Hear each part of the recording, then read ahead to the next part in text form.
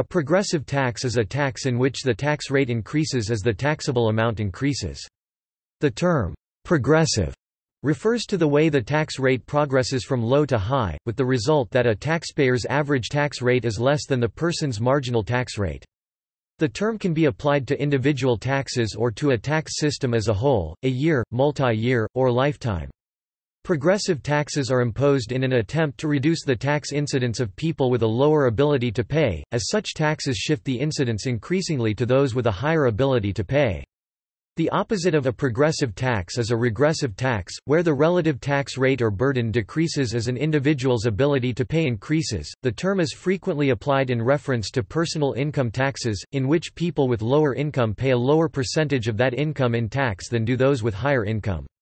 It can also apply to adjustments of the tax base by using tax exemptions, tax credits, or selective taxation that creates progressive distribution effects.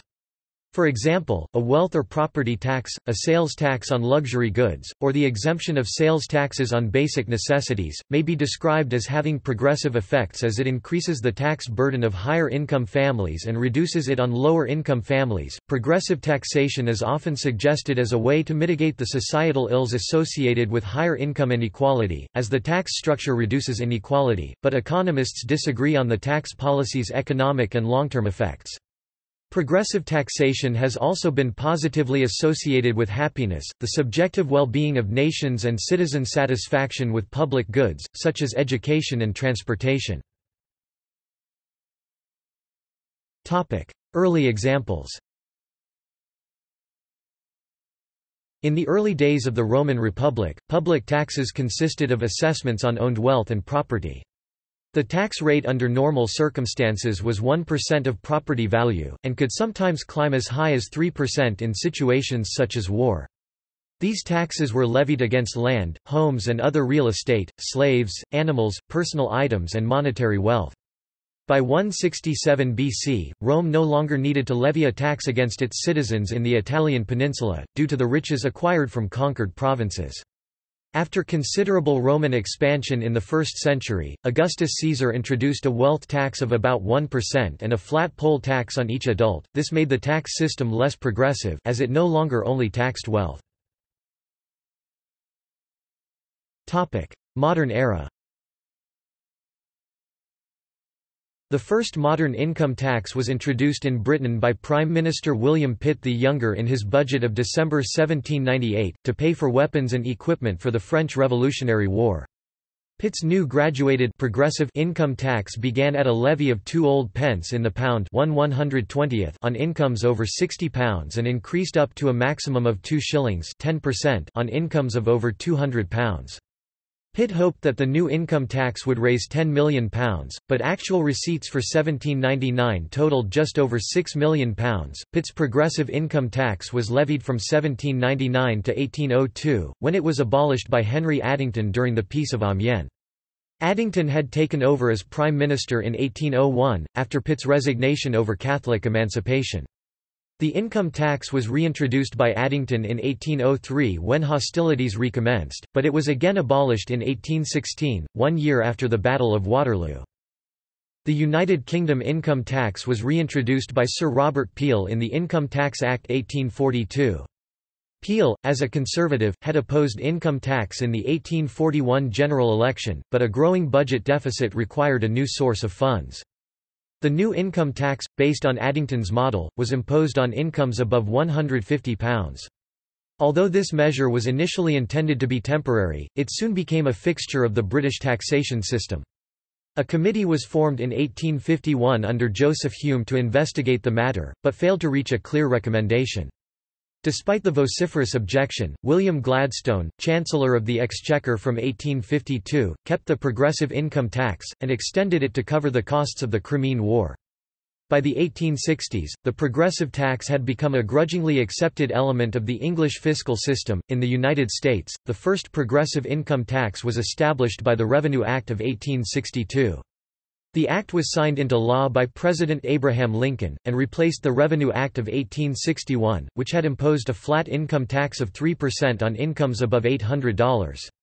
The Sixteenth Amendment to the United States Constitution, adopted in 1913, permitted Congress to levy all income taxes without any apportionment requirement.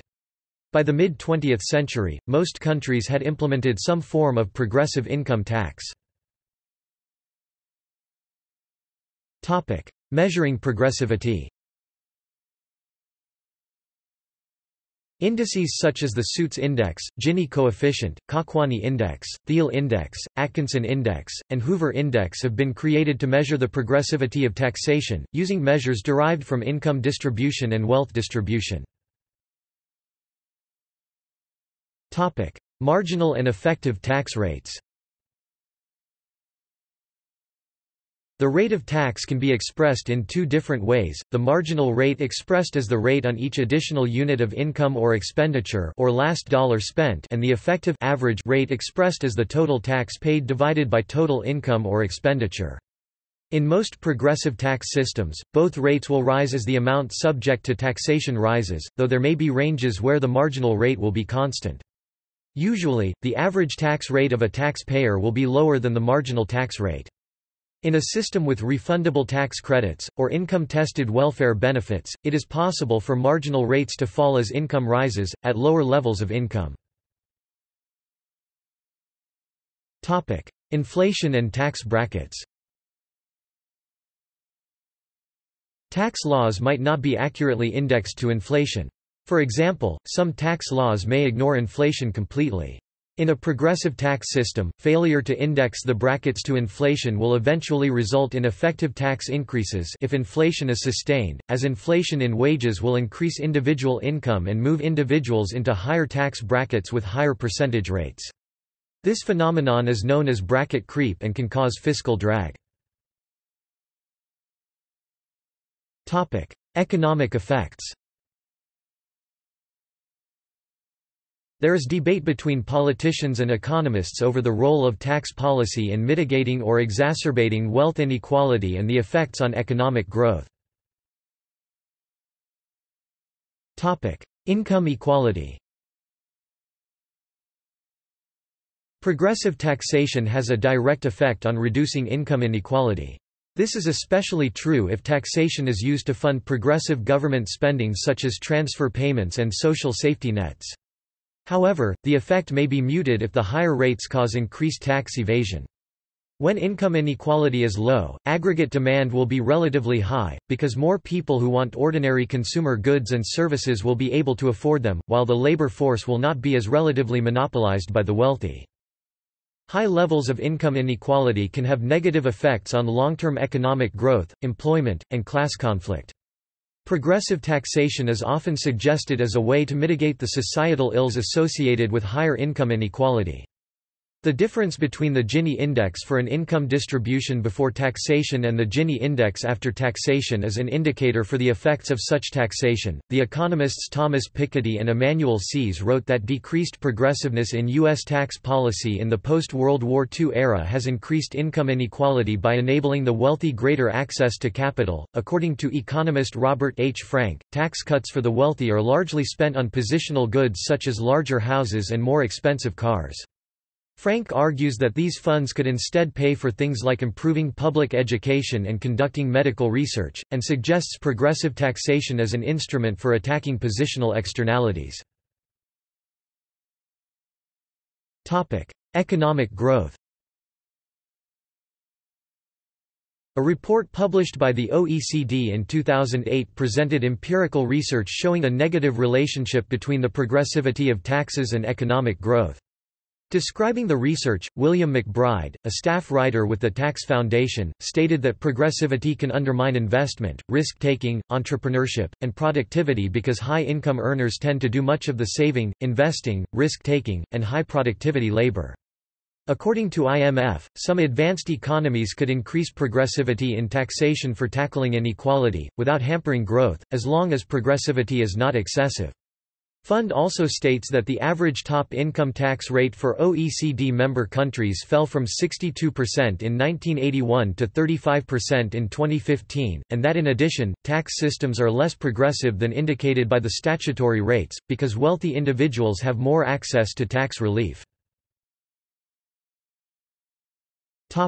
Educational attainment. Economist Gary Becker has described educational attainment as the root of economic mobility.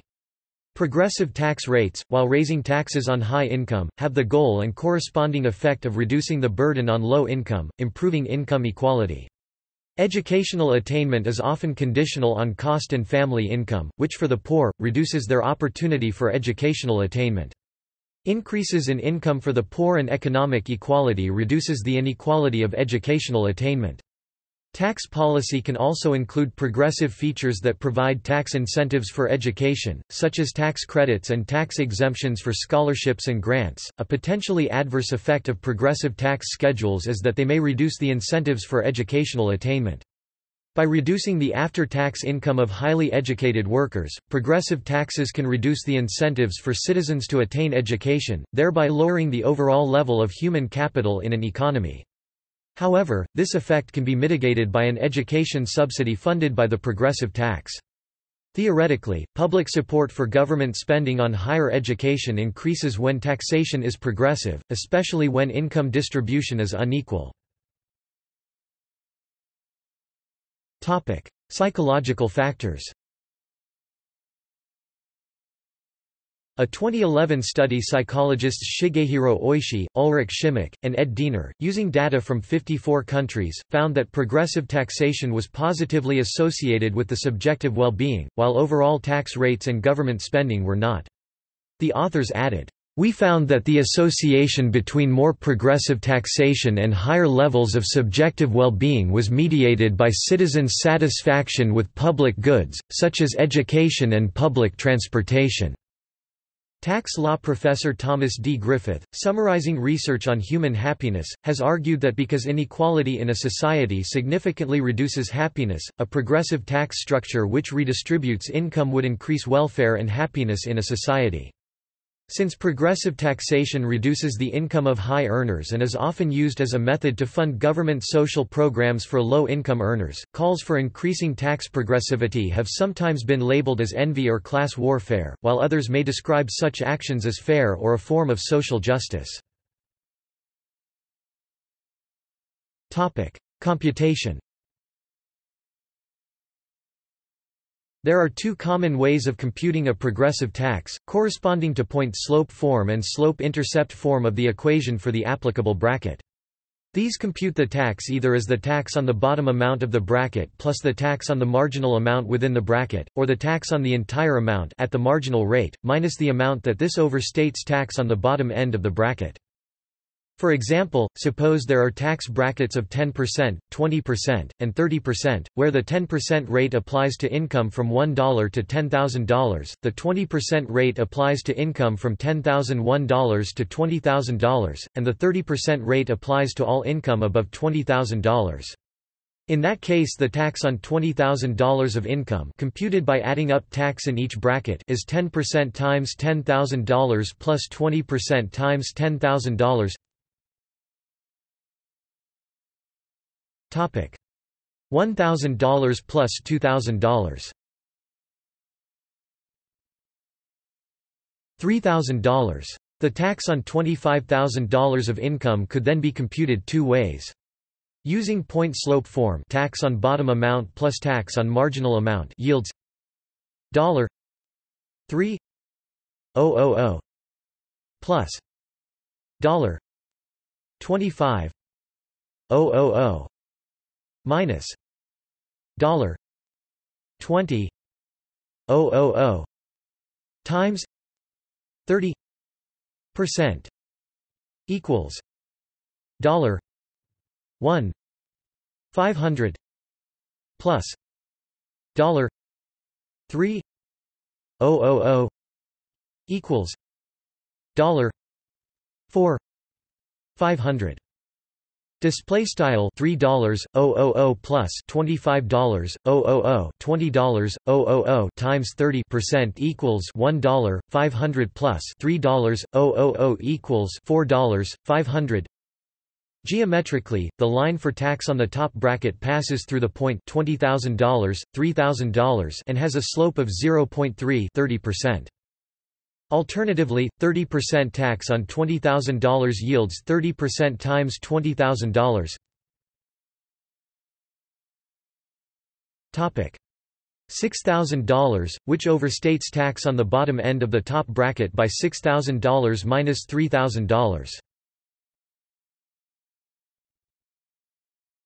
$3,000, so using slope-intercept form yields dollar 25 000 times 30 percent minus dollar 3 000 equals dollar 7 500 minus dollar 3 000 equals dollar 4 500 Display style $25 times 30 percent $3 equals $7 500 $3 equals $4 500 Geometrically, the line for tax on the top bracket intercepts the y-axis at minus $3,000 it passes through the point 0, minus $3,000 and has a slope of 0.3 30%.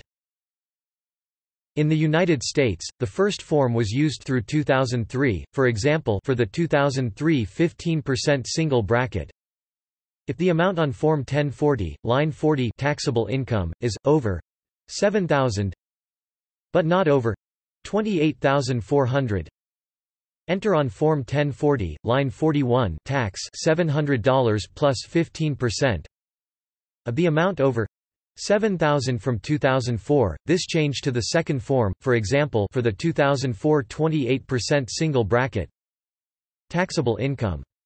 If line 42 is at least $100,000 but not over $146,750 a enter the amount from line 42 b multiplication amount times 28% 0.28 c multiply a by b d subtraction amount $5373 tax.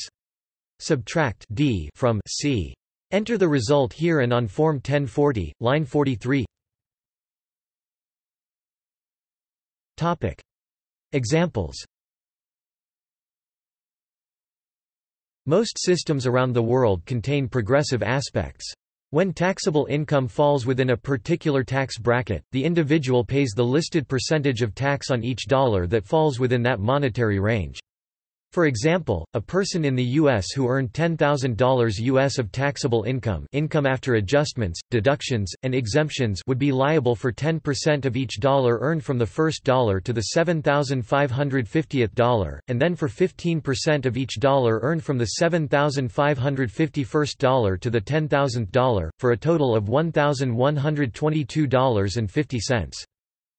In the United States, there are seven income tax brackets ranging from 10% to 39.6% above an untaxed level of income based on the personal exemption and usually various other tax exemptions, such as the Earned Income Tax Credit and home mortgage payments.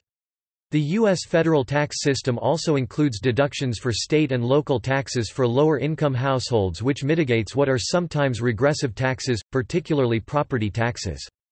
Higher income households are subject to the alternative minimum tax that limits deductions and sets a flat tax rate of 26% to 28% with the higher rate commencing at $175,000 in income. There are also deduction phaseouts starting at $112,500 for single filers.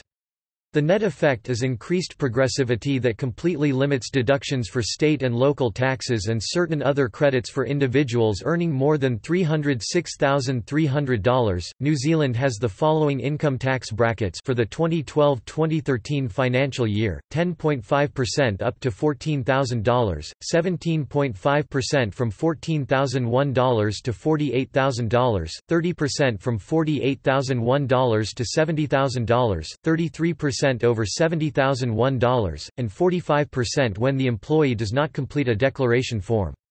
All values are in New Zealand dollars and exclude the earner levy.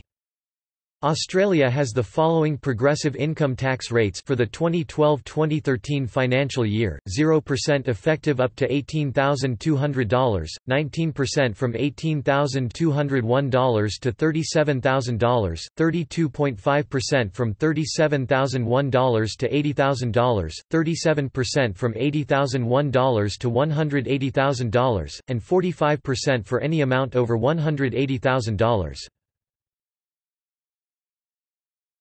Topic. See also Topic. References Topic. External links